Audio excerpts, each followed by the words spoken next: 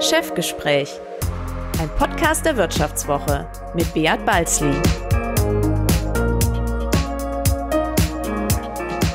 Ja, herzlich willkommen bei einer weiteren Folge des Vivo Podcasts Das Chefgespräch. Mein Name ist Beat Balzli und ich bin der Chefredakteur der Wirtschaftswoche. Heute ist bei mir ein Mann zu Gast, der früher gerne mal seine Gegner auf die Matte legte und heute lieber seine Kunden vor Angriffen schützt. Ralf Wintergerst war einst Europameister im Karate und führt jetzt das milliardenschwere Familienunternehmen Giesecke und Devrient einen der größten Banknotenhersteller der Welt und Spezialist für sicheren Zahlungs- und Datenverkehr.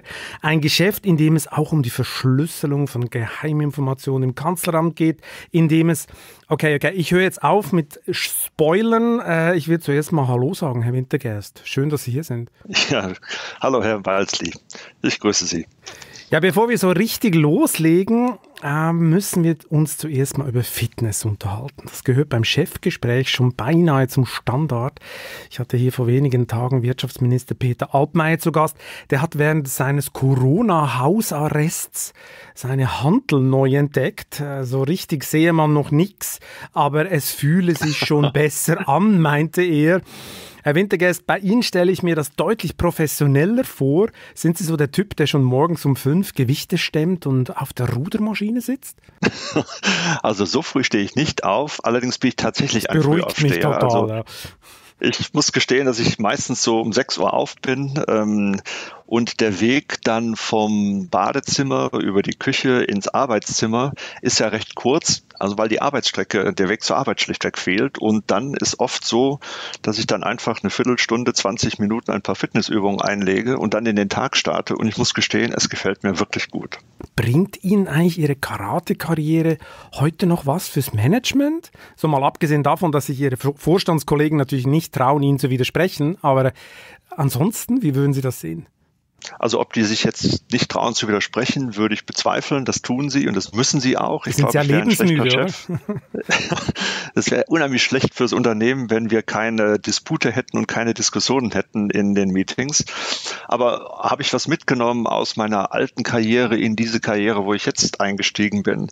Also ich glaube, eins habe ich mitgenommen wenn wir jetzt die gerade die Situation anschauen, in der wir sind, wo es eigentlich keine Blaupause gab, wo es keine Idee gab, was passiert jetzt eigentlich, wie organisieren wir uns, trotz aller Notfallpläne, ähm, erinnere ich mich an eine Situation, die wir früher vor großen Wettkämpfen hatten. Äh, es waren dann auch manchmal Psychologen dabei und die haben gesagt, wenn du auf die Matte gehst, halt deine innere Sprache im Gleichgewicht. Werd nicht zu negativ und werd nicht zu positiv. Wenn du zu positiv bist, dann läufst du in die Konter deiner Gegner rein, weil du übermütig bist. Und wenn du Angst hast, sieht man es dir sowieso an den Augen an. Also bleib genau in der Mitte. Und dieses genau in der Mitte bleiben in einer Krise ist, glaube ich, extrem wichtig. Und so grundlegend habe ich das Gefühl, dass ich hier ziemlich auch in der Krise in meiner Mitte bin, mich in meiner Mitte fühle und mir das auch wirklich hilft, mich auf die Sache zu konzentrieren, die wir bewegen können. Denn man kriegt ja Informationen, die gar nicht mehr aufhören. Man muss schon seinen eigenen Weg finden und seine eigene Lösung für das Unternehmen, damit man vorwärts kommt. Und ich glaube, das habe ich mitgenommen. Ich sehe schon, Giesecke und Devrient wird demnächst auch Management-Coach-Seminare anbieten. Wir wollen uns heute ja über die Folgen der Corona-Krise unterhalten, über den Umgang mit Geld, Bargeld, den Technologiekrieg zwischen China und den USA und darüber, wie gut Deutschland gegen die Bedrohungen aus dem Netz geschützt ist. Aber Herr Wintergast, am Anfang ein kleines Quiz mit Ihnen. Welche Verschwörungstheorie kennen Sie? Keine. Sie kennen damit keine? beschäftige ich mich gar nicht. Also ich muss gestehen, dass ich die völlig also ignoriere und auch gar nicht anschaue. Meine Konzentration, vielleicht ist das auch die Vergangenheit aus dem Kampfsport, ist ganz auf das Unternehmen gerichtet, ganz auf das, was wir tun müssen und vor allem auf das, was wir in einer solchen Kriege bewegen können. Und da hilft mir keine Verschwörungstheorie. Es gibt ja ein paar Bekannte, oder? Die Mondlandung hat nie stattgefunden. Elvis Presley lebt. Das sind noch so die harmloseren Geschichten. Aber erschreckenderweise, und darum komme ich mit dieser Frage, erschreckenderweise glauben immer mehr Deutsche in diesen Corona-Zeiten, dass Milliardäre wie Bill Gates und Magistraten wie Angela Merkel das Volk manipulieren, Corona gar als Vorwand für die Unterdrückung der Freiheitsrechte missbrauchen. Manche behaupten gar, Corona sei erfunden worden, um das Bargeld abzuschaffen, also ihr Kerngeschäft. Darüber sprechen wir später noch. So ein Denken können Sie nicht nachvollziehen oder sich erklären, oder? Nee, und ich glaube, es wäre auch nicht wirklich gut verwendete Zeit, sich damit zu befassen, zumal, wie soll man das irgendwo auch nachprüfen können? Also ich habe keinen persönlichen Kontakt zu Bill Gates, ähm, zur Frau Merkel schon, aber da nein, also da muss ich sagen, befasse ich mich wirklich nicht mit. Genau. Warum frage ich Sie das? Weil Ihre Firma äh, laut Eigenwerbung ja die Daten der Regierung schützt. Sie arbeiten also genau in dem Milieu, in dem sich die meisten Verschwörungstheorien abspielen, so im hochsensiblen Bereich. Es geht um Geheimhaltung, Verteidigung, Kontakte zu Nachrichtendiensten, Verschlüsselung. Funktioniert diese Welt eigentlich nach ganz anderen Gesetzen als die normale Geschäftswelt? Nun, ich glaube, Regierungsgeschäft, ähm, Regierungen haben den Auftrag, das Beste für ihr Land zu tun. Und ich glaube, man kann über die deutsche Regierung sagen, dass sie das auch wirklich mit aller Kraft versucht. Also das würde ich auch so stehen lassen, dazu würde ich auch stehen, dazu habe ich auch Vertrauen in unsere Verfassung, in die Gesetze, die wir haben. Ob jetzt Datenverschlüsselung der Hauptteil des Regierungsgeschäftes sind. Nun, es ist ein Teil vielleicht, der aus der Historie entstanden sind, dass man eben halt auch Bescheid wissen muss, wenn man sich verteidigen muss, äh, dass man halt einfach alle Informationen zusammen hat und dass man Informationen, die sensibel sind, Dinge, die man plant, über die noch nicht jeder Bescheid wissen muss, ähm, dass man die halt auch schützt. Und das ist, glaube ich, ein legitimes Interesse, dass ja nicht nur Regierungen haben, das habe ich auch als Chef eines Unternehmens. Also ich möchte auch nicht, dass die Kronjuwelen, also unsere Kundendaten, unsere Vertragsdetails an jemand anderen gehen. Und als Privatperson muss ich gestehen, habe ich das ja auch. Ich möchte auch nicht, dass jemand in meine Konten schaut oder irgendetwas schaut, was vertraulich nur für mich ist. Also ich denke mal, es gibt ein legitimes Interesse, dass Sachen, die nur einen selber was angehen, ob es eine Regierung ist, ein Unternehmen ist oder eine Privatperson, geschützt bleiben. Hm. Aber das Geschäft ist ja schon ein bisschen speziell, das Regierungsgeschäft. Nehmen wir kürzlich diesen aufgeflogenen Krimi, den Sie sicher auch kennen, um die Schweizer Verschlüsselungsfirma Crypto AG, oder? Die wurde in den 90ern heimlich vom US-amerikanischen Geheimdienst Geheimdienst CIA übernommen. Über 100 Länder erhielten Dechiffriermaschinen, bei denen die Amerikaner mitlesen konnten, mit Wissen des Bundesnachrichtendienstes. Also kein Wunder gibt es Verschwörungstheorien, oder? Das mag vielleicht zur Entstehung beitragen, aber schwierig zu kommentieren, würde ich mal sagen. ja, eine konkrete Frage. Welche konkreten Dienstleistungen bietet denn Ihre Firma den Regierungen eigentlich an? Ja, also vielleicht, äh, welche Kunden haben wir? Wir haben sehr viele Regierungen, wir arbeiten auch sehr, sehr viel mit Zentralbanken dieser Welt zusammen, Geschäftsbanken, Telekom-Unternehmen, aber auch den großen Tech-Firmen, also wie Apple, Google, Samsung oder auch Automotive-Kunden. Der Unterschied zu den Regierungskunden und zu den Zentralbanken ist natürlich, dass die über ihre Produkte nicht ganz so viel reden, weil über Pässe, Ausweissysteme, Geld, digitale, Trans digitale ähm, Transformation oder digitale Verschlüsselung, ähm, das sind keine Themen, die in der Öffentlichkeit stehen. Das sind Dinge, die halt uns unsere Kunden brauchen, um ihr Geschäft zu betreiben. Und ähm, in diesem Sektor bieten wir unseren Kunden entweder fertige Produkte an. Das kann beispielsweise Bargeld sein für die EZB. Das können Pässe, Ausweissysteme, Grenzkontrollsysteme für Länder sein, für komplette Länder, dass man ein ganzes Land damit ausstattet. Ähm, und das können Digitalisierungsleistungen sein, wie beispielsweise, dass man einen physischen Führerschein in einen digitalen Führerschein transformiert, der dann über die mobile Applikation von der Polizei gelesen werden kann, ob das auch wirklich ein echter ähm, Führerschein ist. Und all das bieten wir in verschiedenen Modellen als Produktgeschäft oder als Dienstleistung an unsere Kunden an. Und Sie verschlüsseln unter anderem die Kommunikation im Kanzleramt. Ist das so? Genau. Also was wir machen, ist, dass wir Produkte und Dienste zur äh, Sicherung der Kommunikation herstellen. Das heißt, wenn es um Verschlusssachen geht, wie man so schön in der ähm, Sprache dort sagt, dann verschlüsseln wir diese, diese, diese Dokumente und diese Inhalte und erst an dem Punkt, wo es angekommen wird, wird es dann wieder entschlüsselt und man kann dann lesen. Und das nutzt zum Beispiel die deutsche Regierung in verschiedenen Ämtern, in verschiedenen Ministerien für den Versand und für die Verschlüsselung ihrer geheimen Dokumente. Das Handy der Kanzlerin haben Sie dann nicht geschützt, oder? Weil die NSA hat das ja abgehört. Das war dann nicht Ihr Produkt, oder wie? Nein, das war nicht unser Produkt. Das aber war nicht Sie, unser aber Sie hätten es natürlich verhindert, wenn Sie den Auftrag gehabt hätten. Nun, ähm, die Informationssicherheit ist natürlich, sagen wir, sehr stark segmentiert und wir fokussieren uns auf den Themenbereich von sicheren sogenannten Workflows, also Arbeitsprozesse, äh, die man verschlüsseln muss und auch Dokumente, die man verschlüsseln muss. Und das ist ein sehr spezieller Anwendungsbereich. Also das heißt, wenn das Auswärtige Amt etwas an die ähm, an die Botschaften schickt, dann wird das halt über unsere Technologie gemacht und das recht flächendeckend. Hm. Und das ist das. Also das betrifft jetzt nicht die mobilen Endgeräte. Aber mobile Endgeräte nehmen natürlich zunehmend Maß auch in diesen Dingen, ähm, dass wir uns auch mit diesem Thema befassen. Eben halt das Handy sicherer zu machen. Kann denn eigentlich Ihre eigene Firma in diesem Kryptogeschäft, wie man es glaube ich so ganz salopp nennt, noch mithalten? Viel Know-how ist ja ins Ausland abgeflossen. Ich glaube, die Bundesdruckerei hat den Spezialisten Genua weggeschnappt. Äh, wie hält man da noch mit in diesem Rennen? Nun, erstmal glaube ich, dass es in Deutschland eine recht gute IT-Sicherheitstechnologie-Szene gibt. Dazu gehört auch die von Ihnen genannte Firma Genua, die zur Bundesdruckerei gehört, aber sie sitzt ja in Deutschland, sitzt in der Nähe von München.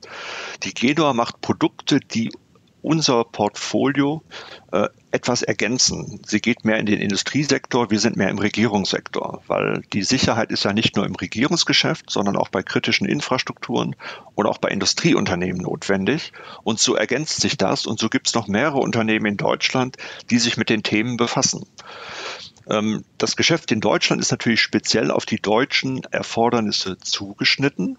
Das Bundesamt für Sicherheit in der Informationstechnik, das BSI, legt natürlich auch Wert auf Spezifikationen, die erfüllt werden müssen, prüft das Ganze und gegen diese Spezifikationen entwickeln wir auch die Produkte, die dann in Deutschland ausgerollt werden. Das heißt, ähm, dieses Geschäft ist nicht so sehr international und wir nehmen auch keine internationalen Entwickler für die Entwicklung von Produkten in Deutschland rein. Das ist also IT-Sicherheit made in Germany.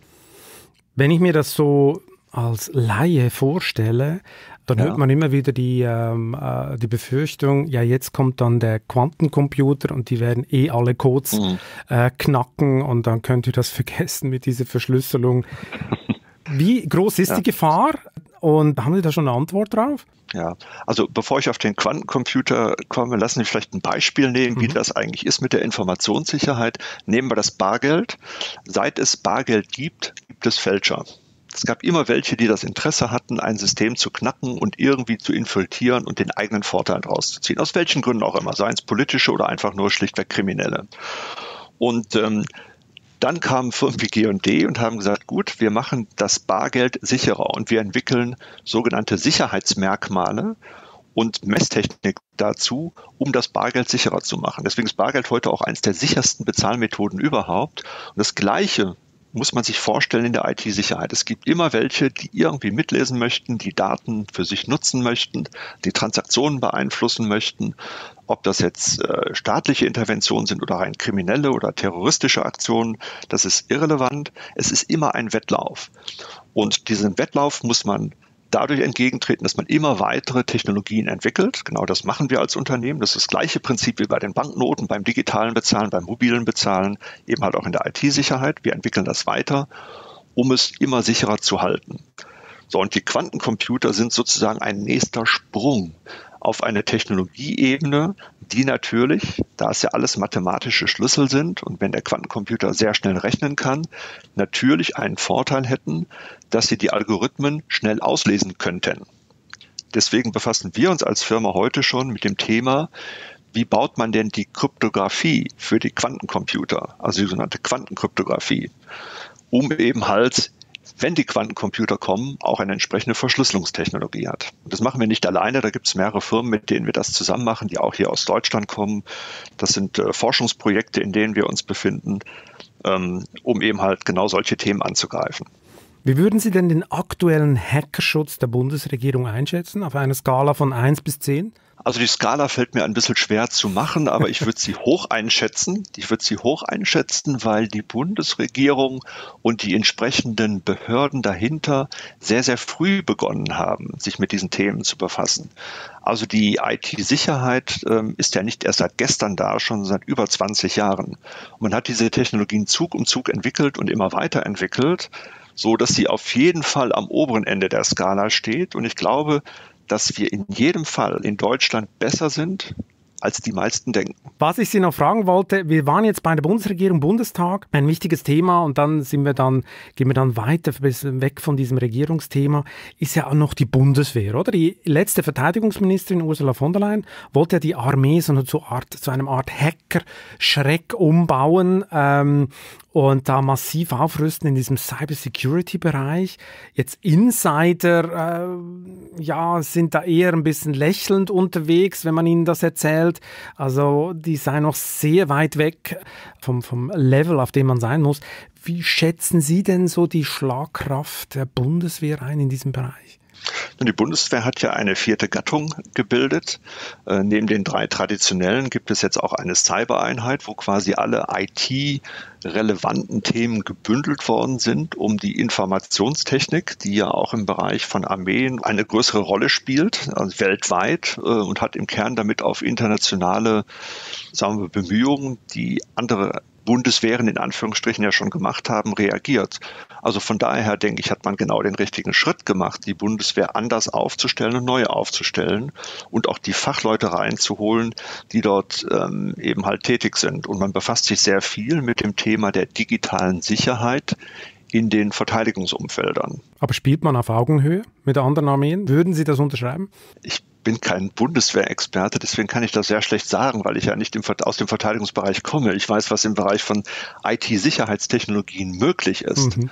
Und da sage ich mal, glaube ich, dass Deutschland, und Sie haben natürlich recht, wenn Sie sagen, es geht ja nicht nur um G&D, es geht auch um die anderen Unternehmen, die dort tätig sind, eine ganz gute Landschaft haben, in die auch hinein investiert wird und in die auch öffentlich hinein investiert wird, damit dort genügend Produkte entstehen können.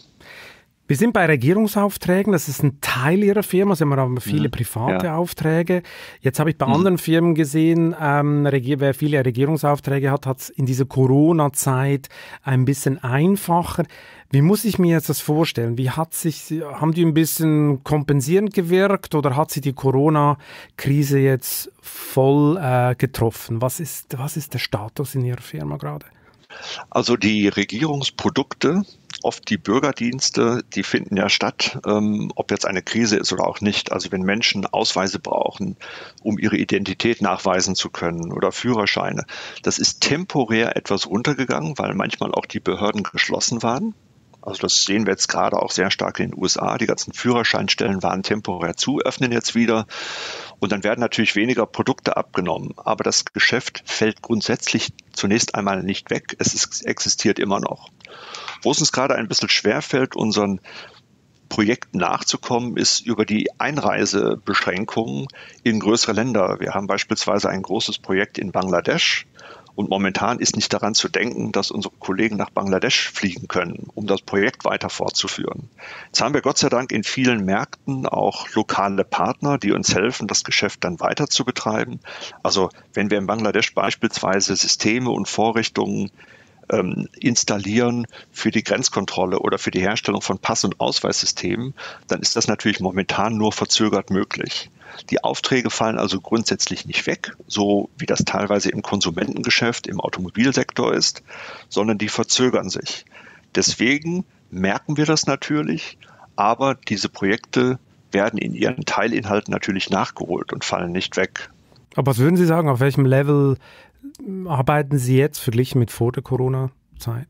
Also in einigen Segmenten, wenn ich jetzt mal alle unsere Segmente durchgehe, dann arbeiten wir auf einem normalen Niveau. Beispielsweise ist die Nachfrage nach Bargeld sehr hoch. Also es wird zwar sehr viel spekuliert und sehr viel geredet, dass der Abschied des Bargeldes jetzt ganz nah ist.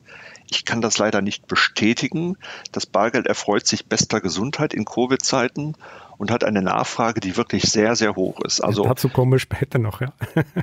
wir kommen kaum mit unseren Produktionen nach für unsere Kunden, die das eben halt erhöht nachfragen. Also dieses Geschäft ist überhaupt nicht beeinflusst. Und das Geschäft äh, mit dem Regierung, äh, ja, vielleicht ich kann das jetzt auch noch gar nicht in eine Zahl fassen, weil das Jahr noch nicht zu Ende ist. Wir versuchen das ja auch Monat um Monat zu evaluieren. Also das Niveau ist nicht runtergegangen, aber ich würde sagen, die Projekte, die verschieben sich alle so vielleicht ein halbes, dreiviertel Jahr. Zwischen drei und sechs Monaten, neun Monaten können die sich verschieben, aber sie fallen nicht weg. Hm. Und so im Bereich Automobilzulieferer, da haben Sie sicher harte Einbrüche, nehme ja. ich an, oder? Ja, also wir haben einen ganz speziellen Bereich, äh, das Bereich der sicheren Verbindung zu Netzwerken traditionell über diese sogenannte SIM-Karte und die sogenannten eSIM-Systeme, denn die sind ja auch heute alle im Auto. Also mhm. jedes Auto, das man kauft äh, und anschaltet, verbindet sich ja sofort zum Netzwerk. Und das ist natürlich sehr, sehr stark zurückgegangen mit der einfach nicht mehr stattfindenden Produktion im Automobilsektor. Wir merken natürlich auch, dass Firmen wie Apple oder auch Google weniger Telefone und Smartphones verkaufen. Das merkt man schon, also das ist ganz äh, deutlich. Aber es ist immer noch ein sehr hohes Grundniveau. Und ein Bereich, den wir jetzt gar nicht merken, äh, um das nochmal abzu zu ergänzen, ist äh, die Nachfrage nach Kryptotechnologie und Sicherheitstechnologie, über die wir jetzt auch schon länger gesprochen haben. Also da ist die Nachfrage auch sehr hoch und da sind wir eigentlich auch eher auf einem Niveau unserer ursprünglichen Planung, vielleicht sogar darüber hinaus. Das ganze Homeoffice-Thema pusht ja eigentlich diesen Bereich noch mehr, oder? Ich meine, wenn jetzt alle von zu Hause arbeiten, wird es ja noch so ein bisschen komplexer, die Cybersecurity aufrecht zu erhalten. Was muss ich mir eigentlich vorstellen? Wie oft wird eigentlich Giesig in Devrient äh, so angegriffen pro Tag? Sie sind doch ein Traum, Sie sind doch ein Traumziel für den einen oder anderen Geheimdienst, oder nicht? Ja, die Frage traue ich mich immer nie zu beantworten. Ja. Also Aber hier dürfen sagt, Sie, wir sind ganz unter uns. Wir sind ganz unter uns. Ganz unter uns. Ja, wenn man diese Frage immer beantwortet, wir werden nie angegriffen, dann sagen die alle, ja, jetzt müssen wir es erstmal recht, erst recht äh, versuchen. Ähm, aber ich kann sagen, dass wir eigentlich gut gerüstet waren für diese Homeoffice-Geschichte. Denn wir sind ja eher noch so, dass wir alle im Büro gearbeitet haben. Und ich erinnere mich noch genau an dem, am 19.03 hatten, bevor diese ganzen Schließungen und das Zurückfahren und die Homeoffice-Empfehlung ganz stark ausgesprochen werden, haben wir einen Testtag gemacht fürs Homeoffice und haben alle Mitarbeiter wirklich ins Homeoffice geschickt an so einem Standort in München hier. Also nicht in den Produktionen, sondern an den Verwaltungsstandorten. Und äh, am 20. traten dann diese ganzen Beschränkungen in Kraft. Und dann waren alle weg. 90 Prozent waren weg. Nur noch ein paar Sicherheitsleute war hier und ein paar Leute, die in bestimmten Labors arbeiten, die halt nicht von zu Hause arbeiten dürfen, sondern nur in bestimmten Umgebungen arbeiten dürfen. Und wir haben vor zehn Jahren schon etwas eingeführt, das nennen wir unseren Global PC One. Das ist ein standardisierter PC, ein Laptop äh, mit einer sogenannten Zwei-Faktor-Authentisierung, also sozusagen ein, eine digitale äh, Zugangskontrolle für die Umgebung von G&D, von der man das von außen zugreifen kann. Und die hat uns natürlich geholfen, dass wir unsere ganzen Applikationen auch vom Homeoffice in der gleichen Sicherheitsumgebung weiter betreiben konnten. Also das heißt, wir haben keine Veränderung in der Vor- von der Vor-Corona-Zeit zur Corona-Zeit äh, gesehen, weil wir eben halt schon diesen Standard hatten und schon seit über zehn Jahren. Und deswegen konnten auch alle relativ schnell ins Homeoffice gehen. Viele haben sich vorher beschwert, dass das ja alles so umständlich sei mit dieser Zwei-Faktor-Authentisierung und diesen Sicherheitsschildern dazwischen. In solchen Situationen haben wir natürlich gesagt, Gott sei Dank haben wir es gemacht und Gott sei Dank haben auch alle unsere IT-Systeme gehalten. Also es war der beste Praxistest für die eigenen Sicherheitslösungen, den wir haben konnten. Das war jetzt sehr spannend, Herr Wintergeist, aber meine Frage sind Sie ausgewichen. Was muss ich mir denn annäherndweise, was muss ich mir denn vorstellen? Wie oft wird man angegriffen? Ja. Äh, sind das, ja. Ist das 100 Mal pro Monat oder äh, das heißt ja nicht, wenn man angegriffen wird, dass die Leute Erfolg haben, aber, aber wie, wie, dass man so ein Gefühl kriegt. Ja. Ja, das Gefühl kann ich Ihnen jetzt leider nicht ausdrücken in Zahlen, Daten und Fakten, weil diese Zahlen geben wir auch nicht heraus, weil es, glaube ich, nur animieren würde, dann noch mehr zu tun, respektive das möchten wir auch gerne so lassen, wie es ist, dass es eigentlich auch keiner weiß. Das, da fühlen wir uns viel besser mit. Gut, okay, dann spekuliere ich jetzt einfach mal, ich behaupte jetzt einfach mal, und damit liege ich sicher nicht falsch, es kommt vor, äh, dass sie angegriffen werden, alles andere wäre total unlogisch. Das kommt ja auch im Rest der deutschen Wirtschaft sehr oft vor, äh, sehr oft auch aktenkundig. Man sieht auch, manche Firmen sind immer noch offen wie ein Scheunentor. Haben Sie das Gefühl, die Gefahr wird immer noch teilweise unterschätzt in Deutschland oder nimmt das Bewusstsein langsam zu? Also ich glaube, was wir gerade in Deutschland sehen, ist, dass es bei vielen viel besser gelingt, auch mobil und digital zu arbeiten als ursprünglich angenommen. Wir sind ja ein bisschen skeptisch in Deutschland mit digitalen Technologien und teilweise modernen Arbeitsformen. Und ich glaube, der Beweispunkt, dass es auch geht, ist nun gerade angetreten. Ob das immer mit der gleichen Effizienz ist, möchte ich mal dahingestellt lassen. Aber es tut sich so langsam was. Aber im Bereich der IT-Sicherheit stimme ich Ihnen zu. Da muss mehr getan werden. Da kann auch einfach mehr gemacht werden. Das ist gar nicht so kompliziert. Und da sollten auch alle Firmen mehr Wert drauf legen, ihre Kronjuwelen, ihre wichtigsten Themen zu schützen und da auch etwas gegen zu tun. Und ich gehe jetzt einfach mal davon aus, dass viele Firmen auch die Möglichkeit nutzen werden, einige dieser neu gelernten Dinge weiter beizubehalten. Und dann ist es natürlich ganz besonders wichtig, da schnell nachzuholen. Woher kommen denn die meisten Angriffe jetzt auf die deutsche Wirtschaft? Ist das China, Russland, was ja immer wieder vermutet wird, oder ist es eigentlich doch die USA oder vielleicht auch ein netten Nachbarstaat äh, aus Europa? Die, also ich kann da nur referenzieren, was das Bundesamt für Sicherheit in der Informationstechnologie jüngst verkündet hat, ist, welche Angriffe gehäuft stattfinden, denn es finden in der Covid-Zeit gehäufte Angriffe statt, mhm. äh, insbesondere gefälschte E-Mails. Ähm, diese Anhänge, diese berühmte CEO-Fraud, ne, dass man irgendwas tun soll, ähm, dann kriege ich E-Mails, ähm, die ich nie geschrieben habe, die an die Finanzabteilung gehen, Geld zu überweisen. Ähm, dann gibt es natürlich auch auf Privatpersonen äh, gefälschte Webseiten.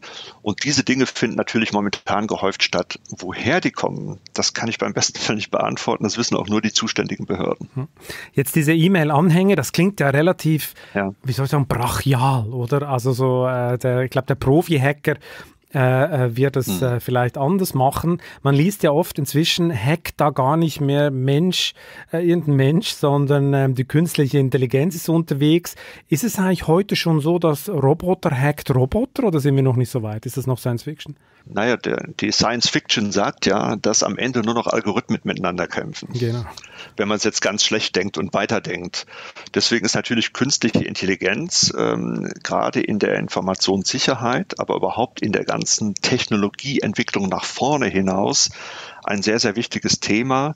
Äh, Algorithmen können heute schon viel. Ich glaube, sie machen heute noch nicht alles, aber wir werden sehen, wie das weitergeht. Sicherlich ist das der gleiche Wettlauf wie vorhin bei den weiteren Sicherungen in den IT-Systemen oder die Banknote und der Fälscher. Es sind immer die gleichen Muster, die dort sind. Und wer ist denn in dieser Thematik, was würden Sie sagen, künstliche Intelligenz, wer sind denn die Besten? Wer ist am weitesten vorne? Wer pumpt am meisten Forschungsgelder in diese Bereiche rein? Wie muss man sich so die, die, die Geopolitik in diesem Bereich vorstellen? Ja, ich würde vielleicht mal eine Ebene höher beginnen und schauen, wie überhaupt weltweit, das ist eins meiner Hobbythemen, muss ich sagen, ähm, Geld für Innovationen und für Forschung und Entwicklung ausgegeben wird. Und, und wir sehen eigentlich ein paar Muster über die letzten zwei Dekaden, würde ich sagen, die sich in eine ganz starke Veränderung bewegen. Heute geben die USA und China kumuliert ungefähr 50 Prozent des weltweiten Volumens an Forschung, Entwicklung und Innovation. Das in allen Bereichen. Das ist jetzt nicht speziell künstliche Intelligenz, das ist auch Telekommunikation, Automobil, Mobilität und so weiter. In allen Bereichen, 50 Prozent ähm, wir schauen an, was dann danach kommt. Also Deutschland ist ja unter den Top 5 Innovatoren und ähm, FE Ausgebern in Anführungsstrichen an Nummer vier.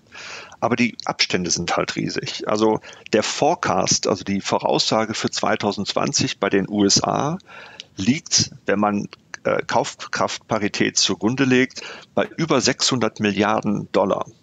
Danach folgt schon China mit 563. China ist in den letzten zehn Jahren jährlich circa 10 Prozent in diesen Ausgaben gewachsen. Das ist immens. Kein anderes Land hat eine so starke Aufbauquote gesehen, wie China das in den letzten zehn Jahren gemacht hat. Mit weitem Abstand dahinter kommt Japan mit 190. Japan stagniert seit Jahren ungefähr auf diesem Niveau und bewegt sich nicht wirklich hoch und nicht runter. Es gleicht quasi der Wirtschaftsentwicklung Japans. Und Deutschland ist leicht steigend. Auch das ist so ein bisschen das Spiegelbild unserer Wirtschaft. Wir steigen leicht, aber nicht stark genug, sind aber schon erst bei 130. Das heißt, Deutschland hat circa fünf Prozent des weltweiten F&E und Innovationsaufkommens. China und USA 50 Prozent. Europa kommt kumuliert auf circa 500 Milliarden, ist also die einzige Region, die überhaupt noch mithalten kann. Oder im Umkehrschluss, ich gehe mal einen Schritt weiter, eigentlich gibt es nur USA, China und Europa. Der Rest fällt dramatisch ab. Fällt dramatisch ab. So, damit ist auch klar, um auf Ihre Frage zurückzukommen, wo geht das meiste Geld in künstliche Intelligenz, in fortgeschrittene Technologien? Und fortgeschrittene Technologien gehen eigentlich auf vier Sektoren. Das ist Computer, Elektronik, Internet, Mobilität und das ganze Thema Gesundheit, Gesundheitswesen. Und diese vier Sektoren stellen quasi 80 Prozent der gesamten Forschungs- und Entwicklungsausgaben dar und Innovationsausgaben. Wenn man diese Cluster zusammenbringt, ähm, ist es klar, dass Deutschland immer noch in einer Position ist, wo es mithalten kann, aber es braucht Verbündete und es muss mehr investieren. Der zweite Punkt ist, was bleibt nach USA und China weltweit ähm, noch über? Und wie bilden sich Koalitionen, dass diese beiden nicht zu dominant werden, die heute ja schon ohnehin sehr, sehr dominant sind? Das klingt ja eigentlich gar nicht jetzt so pessimistisch. Also jetzt auf Europa bezogen würden Sie sagen, noch kann man mithalten, würden Sie sagen, noch. Aber man verliert am Boden, aber noch kann man mithalten. Ja, ich würde es vielleicht sogar noch umgekehrt machen. Also wer kann nicht mehr mithalten? Also es gibt viele Regionen dieser Welt, die nicht mehr mithalten können und die digitale Kolonien werden. Und um diese digitalen Kolonien, wäre meine These, wird es auch zukünftig einen Kampf geben weil es ist schwierig mit 2, sowieso Prozent ähm, weltweit Forschung und Entwicklung für Lateinamerika nur annähernd mitzuhalten. Auch Afrika, die knapp ein Prozent dieser ganzen Volumina haben, oder der Mittlere Osten, auch zwei, zweieinhalb Prozent. Das wird ganz schwierig für diese Regionen. Und damit ist natürlich für Deutschland und auch für Europa die Frage, was setzt man dem entgegen? Wir haben nämlich gegenüber China und USA doch einen kleinen Nachteil wir brauchen etwas zu lange, um uns zu formulieren. Das ist, würde ich sagen, der Punkt, der in der Geschwindigkeit der Technologieentwicklung nicht ein Vorteil ist, sondern eher ein Nachteil ist. Also das ist die pessimistische Seite der Aussage. Ich sehe schon, also wir sind immer noch zu langsam. Böse bezogen würden gegenüber China behaupten, einfach zu demokratisch. Die diskutieren endlos, äh, äh, bevor sie etwas machen.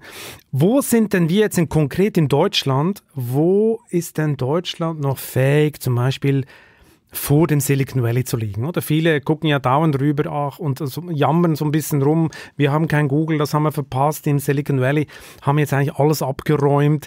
Ist das wirklich so? Ist das Silicon Valley und diese Firmen sind die uns in allen Belangen haben die uns überholt oder gibt es noch Sektoren, wo man, wo man noch sagt, nee, da sind die Deutschen und die Europäer schon noch auf Augenhöhe oder sogar besser? Na, ich, ich würde auch hier gerne noch mal eine Ebene höher gehen. Was, was sind so die Muster, wo beispielsweise die USA sehr stark sind? Die USA ist sehr stark in Disruption. Einfach im Kreieren und Schaffen von neuen Geschäftsmodellen. Also das, was große Firmen geschafft haben aus dem Silicon Valley, über die letzten zwei Dekaden war ja sehr einzigartig. Also man hat wirklich ähm, digitale Fabriken gebaut und anders kann man das gar nicht bezeichnen, die heute weltumspannend sind.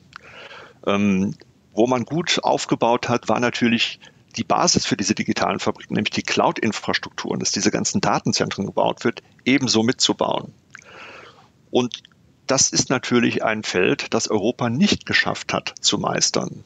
Deswegen geht es aus meiner Sicht für Europa gar nicht darum, das jetzt alles nachzubauen, das sind wir eh hinterher, sondern den nächsten Schritt zu denken. Denn wenn wir jetzt darauf setzen, das alles nachzubauen, müssten wir wahnsinnig viel investieren, nur um es zu kopieren. Das ist nämlich nicht die Stärke der Europäer, es zu kopieren, sondern die Stärke der Europäer ist eher, es anders zu denken. Und dann würden wir statt jetzt nochmal in bestimmte Technologiebereiche rein zu investieren, nicht mehr in Cloud, also zentralisierte Infrastrukturen investieren, sondern in dezentrale, nämlich das Edge Computing. Mhm. Das ist ja genau der Gegenpol von den Cloud-Infrastrukturen. Und wenn wir in die also das heißt vor Ort in der Fabrik, oder? Also dass man genau mhm. mehr am Rande der Peripherie, äh, da auch die Datenverarbeitung zu machen, da die KI anzuwenden. Ja, und da haben wir auch gute Chancen. Das ist nämlich noch nicht weg, dieses Feld. Aber wir müssen schauen, dass wir den Schritt vorwärts denken. Das ist ja eigentlich auch die Aufgabe von jedem Unternehmen. Wie komme ich aus dem, wo ich heute bin, eigentlich auf den übernächsten Schritt und nicht nur auf den nächsten Schritt. Und der übernächste Schritt bedingt ja eigentlich, okay, lasse ich vielleicht den nächsten aus, kopiere ich jetzt noch das, was mein Wettbewerber macht, oder versuche ich eigentlich links zu überholen. Aber Sie haben es ja jetzt gerade erwähnt, das Ganze ist so ein Rennen und es ist ein teures Rennen. Jetzt stelle ich mir natürlich die Frage, als Mittelständler, ich meine, Sie sind nicht klein, aber Sie sind jetzt auch kein Google. Wie wollen Sie denn damit überhaupt mithalten können, diesen Vorsprung zu halten, das ist doch eigentlich in ihrer Größenordnung unmöglich und zudem haben sie auch nicht unendlich Geld, um die entsprechenden Nerds zu bezahlen, die ihnen dann die äh, tollen Sachen entwickeln. Ist, ist man als Mittelständler nicht zum Untergang verdammt irgendwann mal? Also das würde ich jetzt nicht so pessimistisch sehen, das sehe ich eher optimistisch. Ich glaube, als Mittelständler, als mittelgroßes Unternehmen muss man sich genau auf die Felder konzentrieren, wo die Chancen liegen. Nicht jeder Markt ist nur ein großer Markt. Also wenn Sie zum Beispiel das Thema Cloud-Infrastruktur nehmen, natürlich brauchen Sie da große Unternehmen, die massiv Geld und Investitionsmittel haben, um die auch einsetzen zu können. Aber es gibt Segmente, neben dem Bereich Bezahlen, des digitalen Bezahlens in den Infrastrukturen.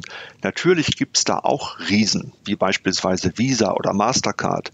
Aber auf der anderen Seite, auf der anderen Ecke des Bezahlens, nicht auf der Seite der Herausgeber von Karten, den sogenannten Issuern, ähm, auf der Seite des sogenannten Merchant Acquirings, also da, wo der Handel involviert ist, da gibt es eine Vielzahl von Möglichkeiten und eine Vielzahl von Chancen, die auch Unternehmen wie Gisek und Devrient einen Marktzugang und auch neue Lösungen erlauben. Und ich glaube, diese Fokussierung, die Marktchancen zu suchen, wo man mit Spezialisierung trotzdem eine bestimmte Skalierung erreicht, ähm, die gibt es. Und diese Märkte muss man finden und suchen. Und ich glaube, darin liegt auch das Wohl und Heil vieler meiner Kollegen, die ähnlich große Unternehmen leiten, leiten ähm, weil sonst ähm, kommt man da auch nicht voran. Und uns jetzt mit Google und Apple zu vergleichen, das würde ich beileibe überhaupt gar nicht tun. Das sind auch nicht die Märkte, auf die wir fokussieren. Natürlich hätten wir dafür auch nicht die Mittel. Aber es gibt genügend Chancen auch in der digitalen Welt, für Unternehmen wie und Evrient. Genau deswegen gehen wir auch da rein. Sie haben es ja vorher schon erwähnt, äh, am Schluss, äh, oder sind vor allem die beiden Blöcke USA und China, die den Ton angeben mhm. in dieser ganzen Technologie, also Technologierennen, eigentlich schon in diesem Technologiekrieg, oder? Wir erleben ja gerade so die Eskalation also eines brandgefährlichen Konflikts zwischen den USA und China. Leute reden schon vom neuen Kalten Krieg, manche nennen es jetzt Decoupling, ausgehend von den USA, also will man sich entflechten äh, von China und zwei Welten schaffen. Der Huawei-Boykott äh, ist das prominenteste Beispiel, aber da gibt es natürlich noch viele andere Beispiele. Äh, Sie müssten es doch eigentlich wissen, wie, wie gefährlich ist Huawei? Ist 5G wirklich ein Sicherheitsrisiko?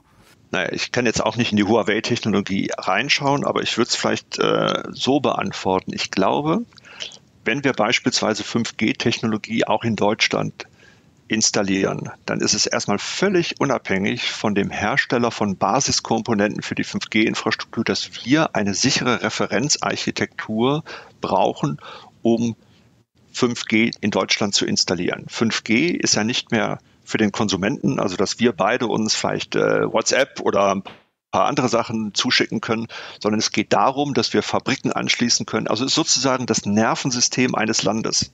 Und natürlich müssen wir sicherstellen, dass dieses Nervensystem sicher ist und dass es nicht angegriffen wird und dass es äh, nicht kompromittiert werden kann und auch jederzeit funktionsfähig ist. Und diese Architektur besteht nicht nur aus Netzwerkkomponenten, sondern besteht aus Netzwerkkomponenten, aus der Konfiguration auf den draufliegenden Applikationen. Und da gibt es eine Vielzahl von Mitspielern, die in diesem System drin sind. Das ist sehr komplex. Und diese Referenzarchitektur ist das A und O, die bestimmt, ob das Thema sicher ist oder auch nicht. Momentan geht die Diskussion sehr, sehr stark auf die Netzwerkkomponenten, die ich jetzt nicht alle im Detail beurteilen kann. Aber was ich sagen kann, ist, dass wenn wir eine sichere Referenzarchitektur halten, dann ist im Kern der Einsatz von Technologien auf jedweder Ebene mit unterschiedlichen Herstellern möglich. Die Möglichkeit schließt nicht aus, dass bestimmte Mitspieler in diesem System vielleicht andere Absichten haben. Das muss man natürlich vorher durch die entsprechenden Qualifikationen sicherstellen. In diesem Zusammenhang stellt sich mir dann so eine grundsätzliche Frage. Die digitale Souveränität von Deutschland, ist die noch existent oder nicht? Entscheidende technischen Komponenten, die möglicherweise mit irgendwelchen Backdoors infiziert sind, hm. liefert ja fast nur noch China. Also wir haben auch hier recherchiert bei der Wirtschaftswoche und gesehen, dass ganz mhm. viele Komponenten kriegst du in Deutschland sowieso nicht mehr, teilweise auch gar nicht mehr in Europa. Ist das, ist das ein Thema? Ist das ein Problem? Ja, also die digitale Souveränität Deutschlands hat natürlich in den letzten zwei, drei Jahrzehnten sich nicht so entwickelt, wie wir es vielleicht heute gerne hätten. Und da haben wir in bestimmten Technologiebereichen, ein Beispiel ist beispielsweise 5G-Technologien, da haben wir keine eigene Kernkompetenz, das ist Fakt. Da gibt es drei Unternehmen weltweit, die das Thema machen und keins davon kommt aus Deutschland. Aber ich würde ein ähnliches Prinzip im Denken ansetzen wie bei dem Thema, worauf man sich als Unternehmen oder als Land oder als Industriecluster auch fokussiert. Wenn wir jetzt beginnen wollen, massiv in 5G zu investieren, in eigene Technologieforschung, dann geben wir Geld aus für Themen, die heute zwar noch nicht reif sind, aber wir laufen Jahre hinterher. Wir müssten jetzt beginnen zu investieren in 6G. Weil jede zehn Jahre ist eine G dazugekommen, von 1G bis 5G. Es geht quasi fünf Jahrzehnte zurück. Vielleicht hält 5G ein bisschen länger. Aber jetzt das Rennen zu beginnen, um bestimmte Technologiebereiche aufzuholen, ist Investition in existierende Technologien. Das wäre aus meiner Sicht nicht der richtige Weg. Der richtige Weg ist aber trotzdem, Deutschland souveräner zu machen beim Einsatz von Technologien und eigenes Know-how auf jeden Fall aufzubauen. Sind wir zu abhängig von China? Ist zum Beispiel Ihr Unternehmen auch so ein bisschen am Fliegenfänger von, von China? Also ohne China könnten Sie teilweise Sachen gar nicht mehr herstellen? Nein, wir haben uns da nie so drauf eingelassen. Beispielsweise stellen wir ja auch in einem bestimmten Produktsegment Systeme her, mit denen die Zentralbanken dieser Welt die Echtheit und die Sicherheit von Geld prüfen. Und die Elektronik, die heute ja zu großen Teilen aus China kommt, haben wir immer selber entwickelt. Denn wir wollten selber die Hoheit über diese Elektronik haben, die ja im Wesentlichen hinterher die Algorithmen bestimmt, mit der das System gesteuert wird und damit auch die Prüfung von sensiblen Dingen wie beispielsweise Bargeld oder Transaktionen macht. Und deswegen haben wir uns bei bestimmten Technologiekomponenten nicht darauf verlassen. Viele Zulieferteile im Gegenzug natürlich kommen die aus China. Das wäre auch unrealistisch zu behaupten, dass man da nicht äh, Zulieferketten hätte, die auch in China sind. Aber wir haben versucht, immer bei den Sicherheitskomponenten, bei Kryptotechnologie, bei Algorithmen und so weiter immer diese Kern-Know-how und dieses Kernfähigkeitsmuster in Deutschland zu halten. Und deswegen ist unsere Spitzenforschung auch immer in Deutschland geblieben. Zentralbanken ist ein gutes Stichwort. Die Auseinandersetzung zwischen China und den USA spielt sich auf vielen Ebenen ab und neuerdings auch bei einem Thema äh, digitales Zentralbankgeld. Oder? Peking träumt jetzt ja. den Traum vom E-Renminbi als Weltreservewährung und Ablösung des Dollars. Für wie realistisch halten Sie das und ist es eigentlich ein Geschäftsfeld für Sie? Also ich beginne mit der letzten Frage. Ja, wir investieren gerade in die Entwicklung von Technologien, die eine die digitales Bargeld ähm, ermöglichen. Also das, das heißt immer Central Bank Digital Currency. Ich finde diesen Begriff sehr sperrig. Ähm, deswegen sagen wir bei uns äh, im Moment dann nur noch digitales Bargeld, weil es quasi der, der Counterpart ist zum, zum physischen Bargeld. Im Moment ist es noch ein frühes Stadium, Komma, aber Erstmal hat China begonnen, bereits im Jahr 2014 darin Tätigkeiten zu machen und macht auch große Fortschritte, hat auch jüngst verkündet, dass es die ersten größeren Tests fährt. Man fokussiert sich momentan auf eine Variante, die sehr stark auf den Handel abzielt, aber es ist einmal eine Variante und man versucht bestimmte Dinge auszuprobieren.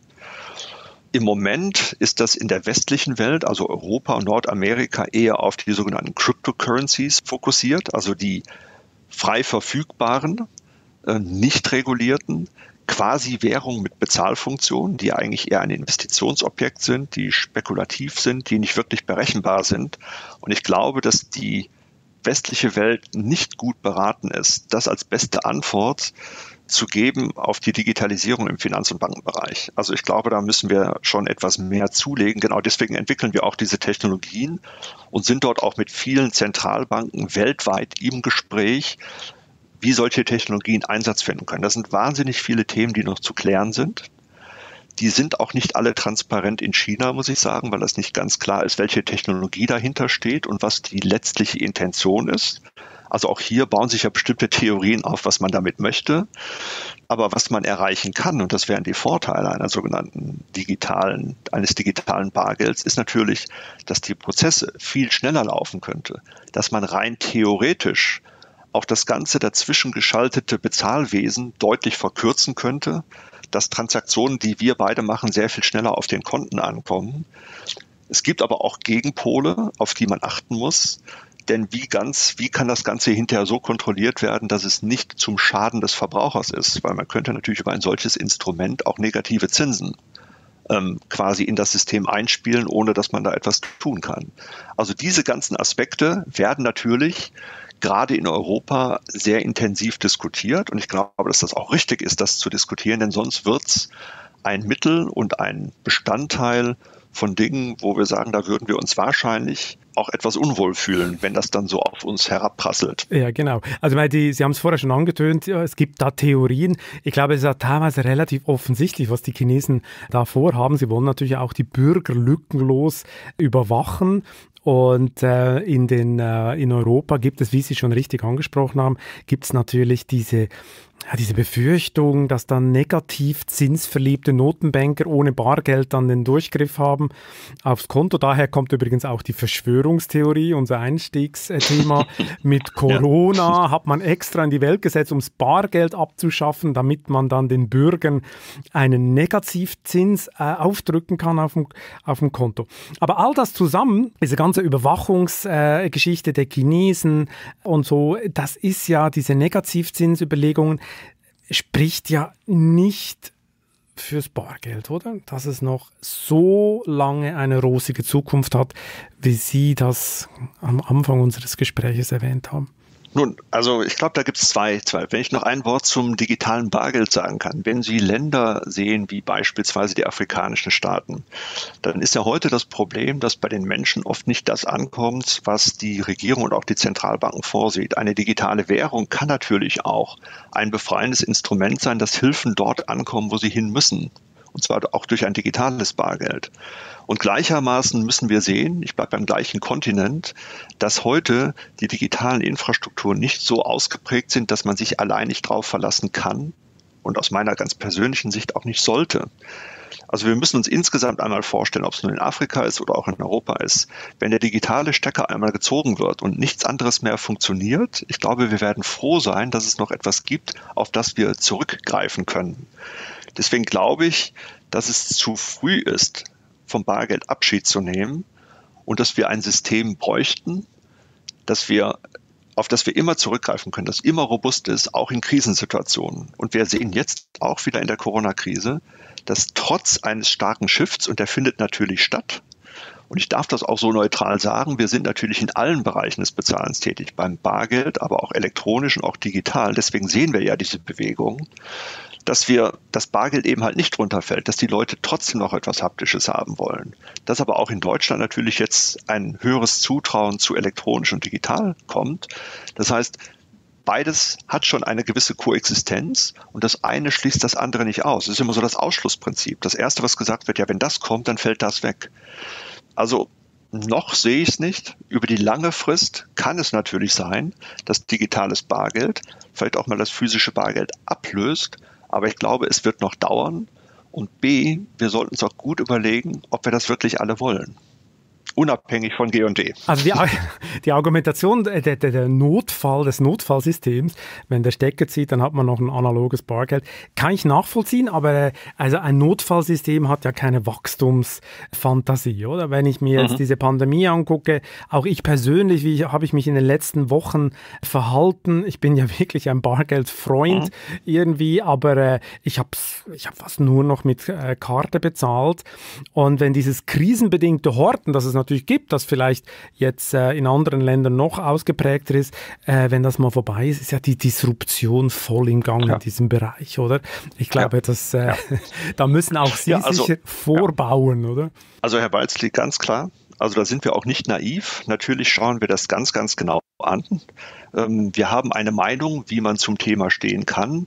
Aber natürlich schauen wir ganz genau darauf an, wie sich die Bedarfe entwickeln. Und natürlich sind wir ganz intern darauf eingestellt, auch unsere Bereiche zu kannibalisieren. Ja, also wenn es darauf ankommt, und deswegen entwickeln wir ja in Technologien für das digitale Bargeld, falls die Nachfrage nach dem physischen Bargeld zurückgeht und wir dort auch weniger quasi machen können, dann brauchen wir natürlich Alternativen als Unternehmen. Solche Dinge haben wir ja schon mal gemacht. Wir haben ja die physische SIM-Karte und wir waren ja die Ersten, die das entwickelt haben mit der sogenannten eSIM. Die ja kein physisches Stück Plastik mehr braucht, äh, das man verschicken muss über komplizierte Logistikwege. Auch da haben wir gesagt, wir kannibalisieren unser eigenes Geschäft und gehen in diese Technologien rein. Wir sind froh, dass wir es gemacht haben. Und das ist hier in der Einstellung ganz genauso. Wir müssen uns selber in Frage stellen und im Zweifelsfalle auch unsere Produkte kannibalisieren. Da dürfen wir nicht naiv sein. Deswegen hoffe ich auch, dass die Kollegen in unseren Vorstandssitzungen dass wir eine heftige Debatte haben und dass ich sie nicht mit meiner alten Vergangenheit dann einhole. Das heißt aber, äh, Giesecke und Devrient wird in den nächsten Jahren noch mal vor einem großen Umbau stehen, oder? Das ist ja fast äh, nicht äh, zu vermeiden bei so einer fundamentalen Disruption. Letzte Frage. Ich werde ja dauernd gefragt als Chefredakteur, wann wird denn die letzte Printzeitung gedruckt. Jetzt kann ich endlich mal jemandem anders eine ähnliche Frage stellen. Wann wird denn die letzte Banknote gedruckt, Herr Wintergerst? Also da wir ja kontinuierlich unser Unternehmen immer wieder aufbauen, renovieren, ich würde mal sagen, das dauert noch einiges. Es wird jenseits 2030 sein. Okay. Gut, dann reden wir dann noch Weiter traue ich mich nicht in die Zukunft. Herr Wintergerst, dann reden wir nochmal 2030, wie es eigentlich äh, steht um die Banknoten. Ich danke Ihnen herzlich für das Gespräch. Das war äh, super spannend und äh, hoffentlich bis bald wieder mal. Hoffentlich bis bald. Vielen herzlichen Dank. Ja, liebe Zuhörer und Zuhörerinnen, wie haben Sie den Podcast gerade gefunden? Fürchterlich langweilig oder total inspirierend? Was auch immer Ihre Meinung zu dem Wirtschaftswoche Podcast ist und vor allem zum Chefgespräch, das interessiert uns. Wir wollen uns verbessern und wir hören natürlich auch gerne Lob. Ich würde mich freuen, wenn Sie an der Studie zu unserem Podcast teilnehmen. Den Link dazu finden Sie in den Show Notes. Kritik, Fragen und Anmerkungen sind sehr gern gesehen, damit wir Ihnen noch bessere Podcasts liefern können. Das war Chefgespräch, ein Podcast der Wirtschaftswoche mit Beat Balzli.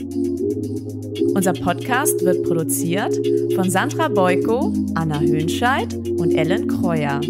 Neue Folgen erscheinen immer freitags. Wie Sie unseren Podcast abonnieren können, dazu finden Sie alle Informationen unter vivo.de/podcast. Herzlichen Dank fürs Zuhören und bis zum nächsten Mal.